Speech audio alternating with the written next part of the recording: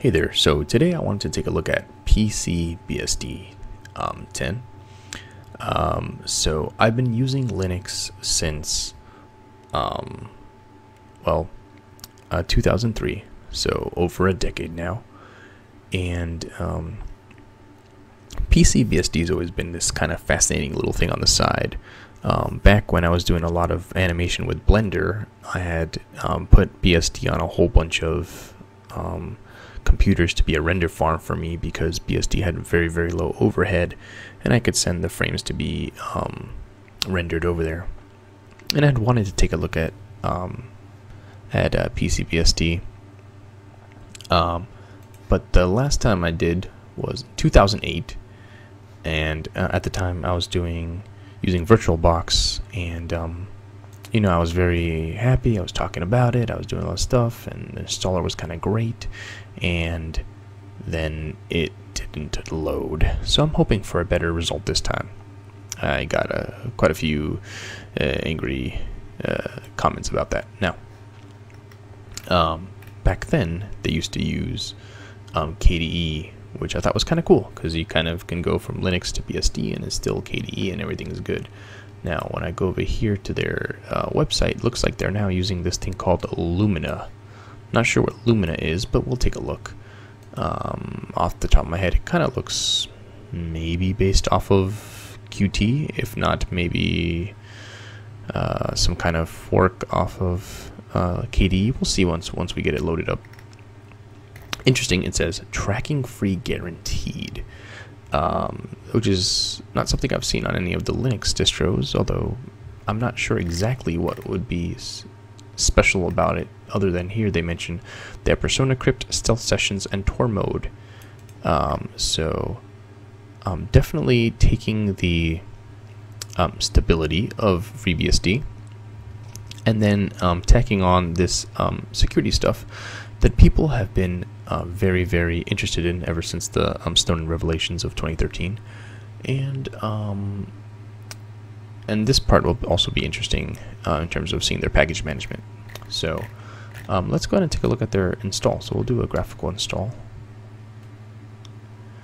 And um, as you can see, I'm running this in, um, in KVM uh, with QEMU. And uh, works pretty well for all my Linux distros and tends to run at more or less near native speed. So we'll see what happens here.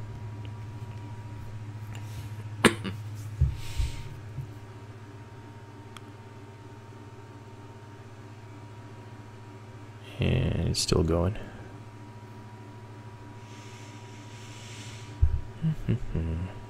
Uh, when it comes to the time for the actual install, I'll um, pause the video. I'm not going to make you sit through the entire install, um, but for this part, I just kind of wanted to let it uh, let it go uh, in real time, or you know, maybe I'll do some cuts in post. We'll see.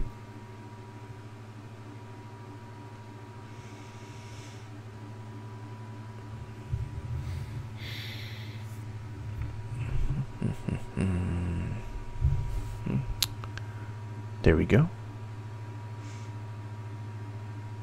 Just when I was about to uh, stop. Huh. Video card is Red Hat. Interesting.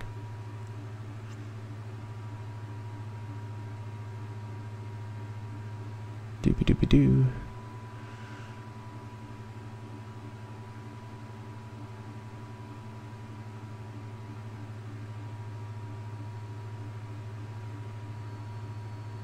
Huh.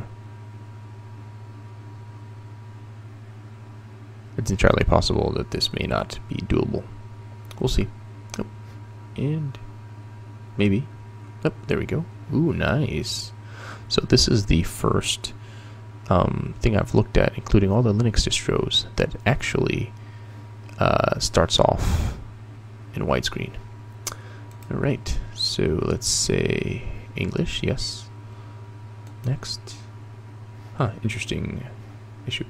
Alright, it's going to be a um, desktop server. Oh, so it does do um, KDE. So maybe Lumia is just some kind of spin-off of KDE.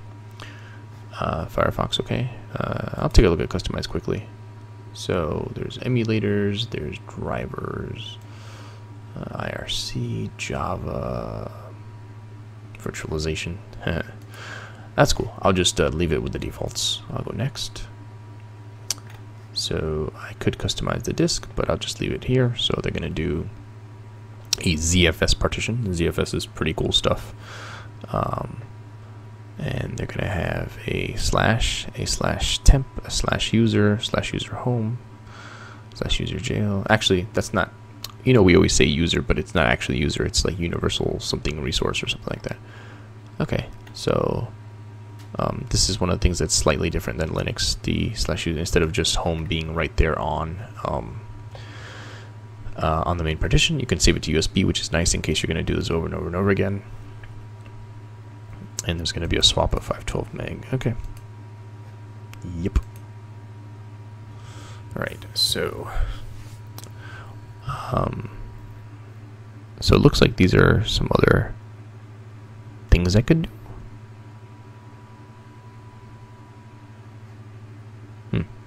Um, so it's it tells you here what it's running, which is pretty cool. Um, not so many Linux distros do that nowadays. Um, most of them just kind of have a percent meter, and they might show you what um, what packages they're installing. But this is actually showing you exactly what it's doing, uh, as if you were doing this at the command line. Now, um, this is a pretty interesting uh, change so I'm going to release my mouse here. And when back when I looked at it in 2008, this is what the install looked like. Um, so strangely, slightly more, I would say, antiseptic now, whereas before it looked kind of more. I want to say professional, but that's that would make it seem as if I don't believe this is professional, and I don't think there's anything unprofessional about it. But it's just a very different focus, apparently. So, uh, if you look here by comparison, uh, I don't know. It's just this. This seems very different from this. This seems more. I don't know, sparse, bare bones. Um, another example, if we go back here, there are also some different uh, some information here, uh, which doesn't appear to be here. And there's nothing wrong with that at all. It's just interesting to see how it's changed because I'm pretty sure. Let me go back to their main website. That that they are still. Um, well, you know, perhaps it's perhaps um nope they're still um, iX Systems, which are the people who do um, FreeNAS, they're still involved. But you know, it's been a long time since I was involved in the um, BSD uh, world, being more of a Linux person. So maybe, maybe something happened in where it's less, um, where it's less uh, business oriented. If I go to iX Systems, they've got TrueNAS, they've got to Pick a Server maybe maybe they just aren't supporting uh, uh, PCBSD in the the way that they used to, um, which makes it less of a commercial thing. So it's that's why they have it this way. I don't know. We'll see. We'll see. It's very fascinating to see how things have changed in the eight years since I last uh, took a look at this. So we're only at 12%. So I'm gonna um, I'm gonna stop the video, and um, I'll I'll start back up uh, once the installation is complete.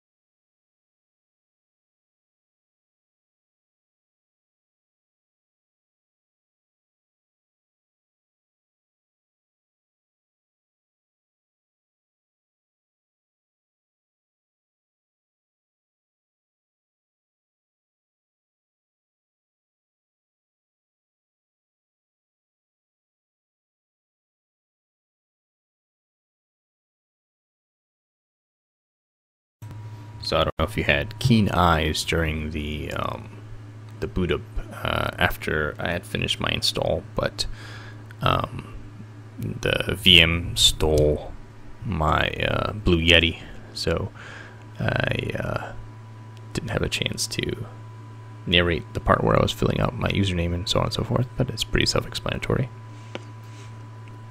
So I'm just waiting for it to boot right back up, just to do my initial look at uh, PCBSD.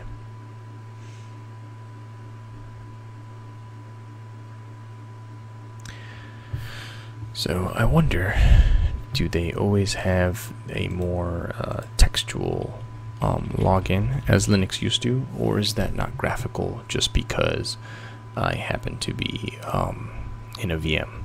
It doesn't really matter. I'm just curious. So what's interesting is that they refer to Lumia on their website. If you look here, it says Lumia Lumina Desktop. Don't know what the f that is. Um, I just clicked here and include your choice of desktop. So I guess you had to pick Lumia. I'm not sure, but it actually defaulted to KDE. All right, so here we go. So I, am always a big fan of welcome pages, especially if this is a distro or in this case an operating system most people aren't used to. So it'll be connected. It says. Let's see. No batteries. Clipboard. Where eh, are we?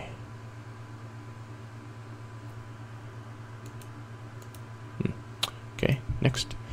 Install apps in the App Cafe, configure system with the control panel, preserve files with Life Preserver. That's cool, and it automatically goes to FreeNAS, which again, IX systems are, I guess, at least partially involved with PCBSD.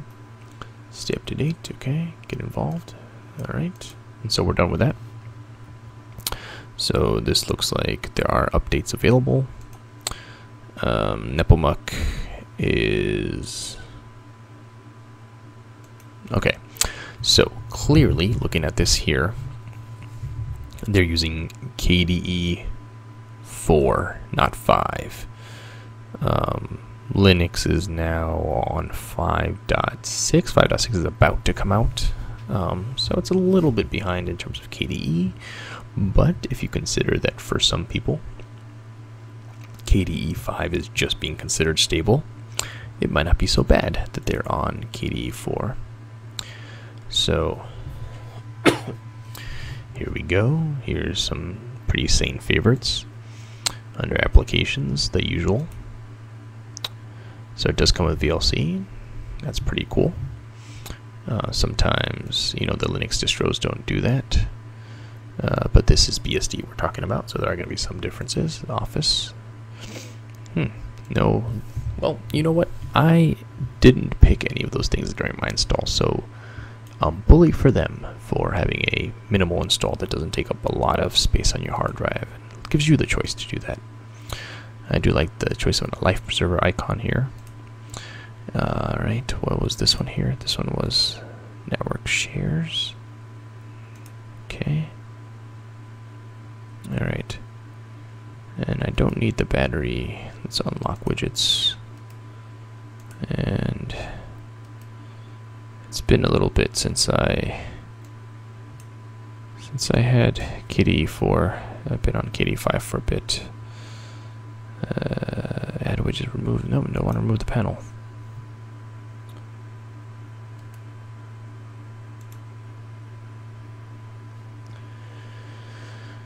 Alright, you know what? I don't really care about that at this moment. I'll just relock the widgets. All right. So let's see what's up with the updates.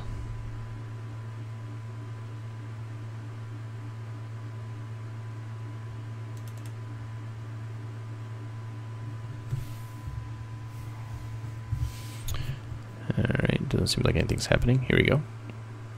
Start the update manager. Alright, so this is user password. Does that work? So update package ng, whatever. Uh, Alright, so let's do this first, the PPPS, PCBSD's patch. This is a little slightly different system that I'm used to with Linux. Alright. Oh, this is cool. Automatically update security and packages. Okay. Everything, only security, only packages or nothing. That's pretty cool. 20 minutes after system boot. That's actually pretty neat. Um, I don't know if this did anything. Did it? I'm not getting any feedback.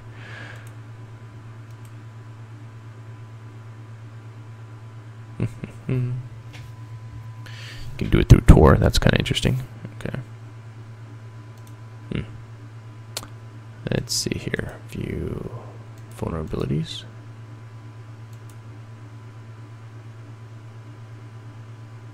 Huh, that's really cool. I like that. So it tells you the CVE. If you're not in the security world, the CVE kind of lets you know the explanation of of what's up and what's not working. All right, so apparently the patch didn't want to work, but the update might work. Let's see what's going on with that. So it says starting update procedures. Here's a log. Let that do its thing. While that does its thing, it's oh currently performing background updates. All right. Um, see the control panel. So we've got the easy PBI. So if I remember correctly, FreeBSD has some precompiled binaries. That's what precompiled binary. And then um, it all you can also always um, compile stuff um, if you want to have more fine-grained control over what flags are uh, selected and so on and so forth. Um, so let's see. There's cups, which is for printing. Disk manager, display. Uh, after the next reboot, no. What I'd like to do, oh, maybe because these are being updated, maybe that's why these have these little icons on them, so we can't really do anything with them at the moment. I'm not sure. Um, so they're using Pulse Audio for their audio. There's a screen locker. Alright. Oh, there's more. Networking. Aquanati. Alright, so some of these are KDE things, some of these are BSD specific. Boot manager, update manager. Alright, let's see, screen locker. If that goes, alright. Alright, good, it's not going to automatically start because it's not a public computer. No one's ever going to be on this besides me. That's fine. Alright. Let's exit out of there. So, this thing is updating and that's fine. Let's, I wonder if I can open this if I'm also doing this at the moment. Probably not if it's anything like uh, Yum or DNF or uh, Deb and all that stuff. Yeah, so the system's updating, so you can't go here to, and that's good because um, you don't want um, changes happening at the exact same time. Uh, right. I'm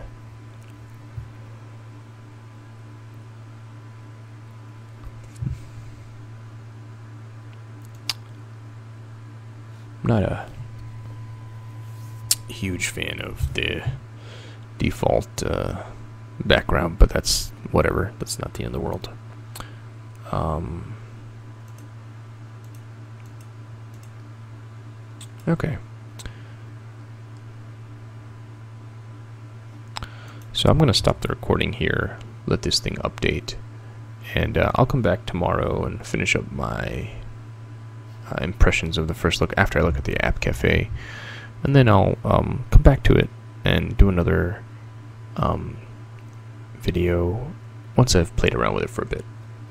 Because um, this looks like it's going to take a while, and uh, there's no point in making you guys watch this. So I'll be back in a bit. Although for you it'll be instantaneous.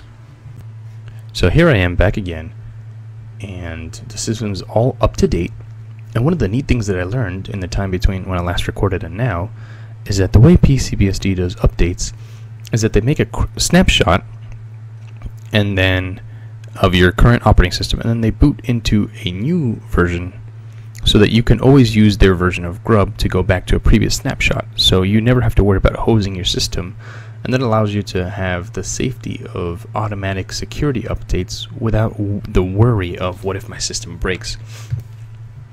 Fedora has been talking about using Btrfs to set up something like that for a while, and um, they haven't got to it yet, but it's a huge infrastructure change to the way Linux works. So I'm not surprised that they haven't got to it yet. And they have been working on related technologies like using XDG and other technologies to have apps be more self contained. Getting back to PCBSD, uh, it looks like when I installed, uh, for some reason, I didn't end up um, installing uh, Lumia. So let me go ahead and do that.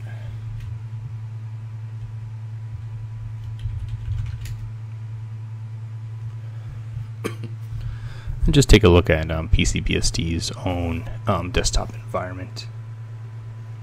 Let's see here. Do an app search.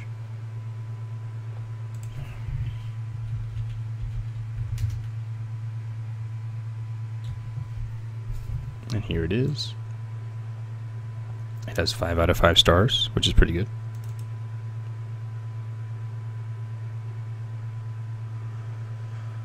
Alright. It's a lightweight thing. Has a bunch of dependencies. Um, it is Qt based, which kind of continues the whole thing of PCBSD uh, um, having KDE as their default desktop environment.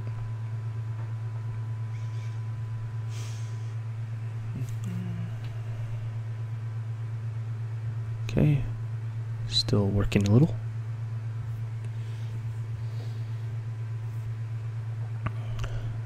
So, still going, still going.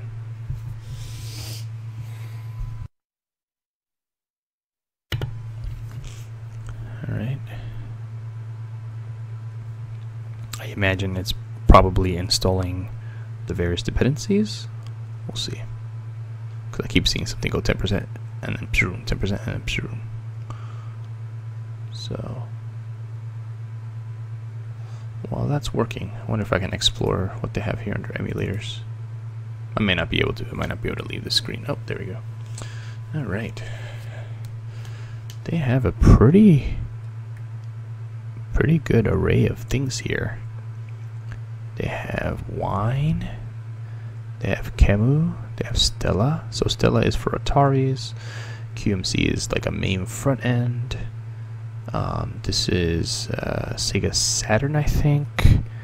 Um, I'm not sure. Oh, Commodore. Oh, okay. I just had to highlight over it. There we go. Uh, this one does not have a tooltip. That one has a tooltip. Yeah, Sega Saturn. Okay, I recognize the uh, logo. Um, here's a really good PlayStation emulator. Uh, Cisco Network Simulator. That's interesting. Really, really old version of MAME. I think I could be wrong. I could be wrong mess. These are one thing now. Uh, fuse. Ooh, a Spectrum emulator. Alright. Nintendo and Famicom. And this is the, uh, what's that dual screen thing? Nintendo DS. Yep. That's not bad. That's actually not too bad at all, considering uh, BSD is not as targeted as other operating systems like Linux and Windows, and you know even Linux sometimes, even when uh, emulators are uh, are open source, sometimes they're only made for Windows or Linux is a second-class citizen. So I wouldn't be surprised that BSD would uh, potentially be uh, even more of a second-class citizen when it comes to that stuff. So I'm just trying to log out, see if I can log into Lumina, see what that looks like.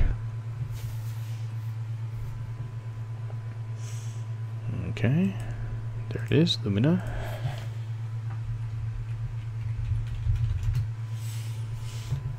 Alright, detecting applications preparing workspace. That's pretty fast. Whoa, look at that. Very nice. Looks uh, pretty similar in this configuration to uh, to KDE. Um, if I can change the desktop, I won't have that annoying back and forth scrolling. Um, for whatever reason, it doesn't. Uh, this emulator it doesn't pick up the correct resolution. Doesn't look like I can change it here though. One, uh, if you're gonna run a VM, I guess that's one place where KDE is a little better.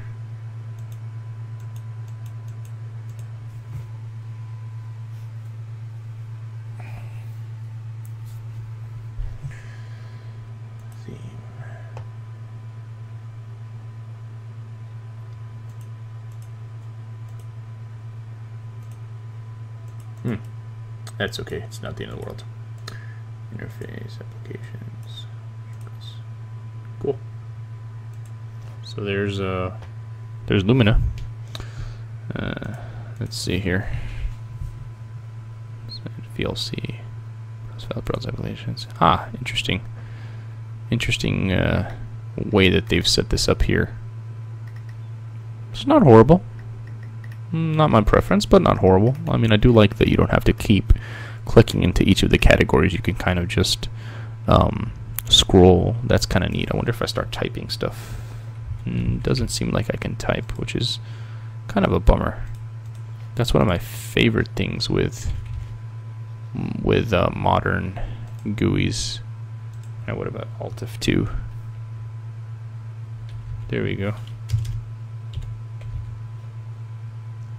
Yeah, it's not too bad. Of course, here's a life preserver, which I don't remember if I mentioned this uh, earlier, but uh, it'll automatically back up to um, to any um, FreeNAS. Since FreeNAS is also FreeBSD, it'll automatically back up to any FreeNAS um, servers you happen to have. Um, it's very easy to set up. Um, what's this one here? Network shares and this is if you're up to date. Very cool. Very nice. Alright, well, that's been my look at uh, PCBSD 10. I think it's pretty neat. Um, kind of going over everything that I saw with this, I would say that this is um, probably the easiest turnkey way to get a um, graphical, user friendly setup in BSD. Um, if you know what you're doing, you're probably better off just using FreeBSD and installing whatever GUIs you want. Kind of similar to what you would do if you were doing Arch Linux. I would say that BSD, vanilla FreeBSD, and is kind of similar to Arch Linux in that sense. You kind of just add what you want and um, build up exactly what you need. You can even do com- compiling kind of Gentoo style if uh, you don't like the packages. Um, but I think they have a nice setup. They have some really nice um, utilities here. I like that they have the handbook right on the desktop. Um, I like, I really, really like that they have a mode to automatically install security updates, and thanks to their um, snapshotting, that you don't have to worry that anything's going to break. You can always go back to a working snapshot. Um, so the only real negatives would be that um, BSD is not going to be as well supported as Linux. So I looked up, for example, Steam.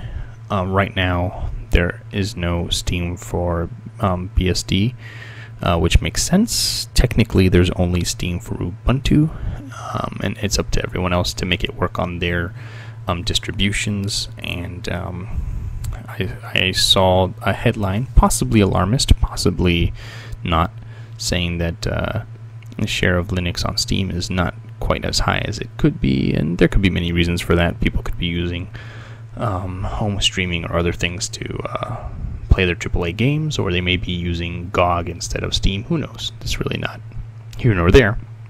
If you want to do it on PC-BSD, you need to use Wine, which um, mm, for most cases probably was going to work just fine, but you know it's not going to work quite as well as um, where um, Steam has said, "Hey, these games we know they're going to work on Linux and they're going to work well," and so on and so forth. Um, and then you know, just in general, um, you're going to have to find and compile your own stuff and um, perhaps change some parameters if it's only made for Linux and not BSD. I would say for the average person who's just going to mostly go on the web and do some um, emailing and stuff like that, PC-BSD as well as pretty much any operating operating system is perfectly fine. So um, thanks for watching, and I'll see you next time I take a look at another um, operating system. Thanks, thanks for watching.